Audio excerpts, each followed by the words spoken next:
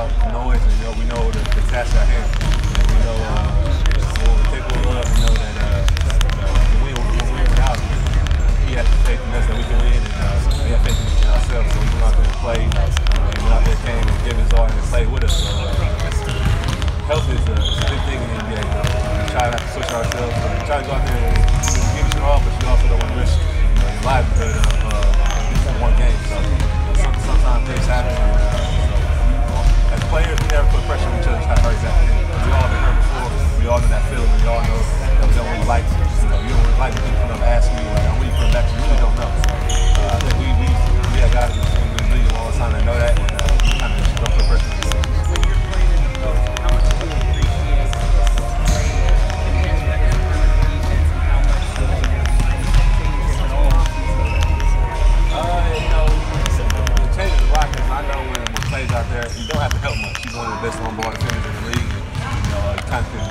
himself and, and worry about everybody else on the court. You know, he's always solid. He's gonna play great defense, and uh, he's able to switch on onto big and hold his own too. So, you know, it's, uh, it's gonna hurt not having him on the on the on team for the defense to start the year if he doesn't come back. You he's, he's uh, probably should have been first team all defense if he wasn't uh, last year. and know, missing somebody that caliber is gonna, hurt, but I think. Uh, got still got Kevin to finish, still got Draymond, been uh, at least player of the year, We got uh, guys that's coming in that's capable. So it's gonna be uh, learning experience for a lot of guys, but once they learn, they're to